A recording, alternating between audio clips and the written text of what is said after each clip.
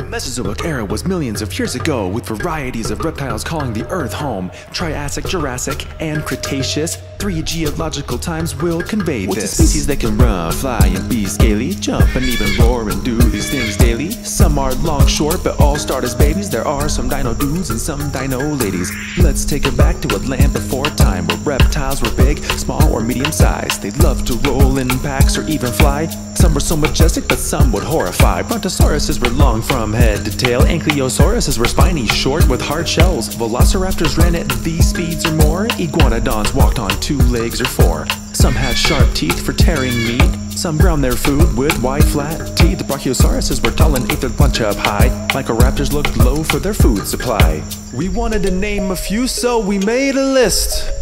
And it goes like this. Apatosaurus, Diplodocus, Iguanodon, and the Lambeosaurus, Velociraptor, Stegosaurus, the Microraptor, and the Tyrannosaurus Rex.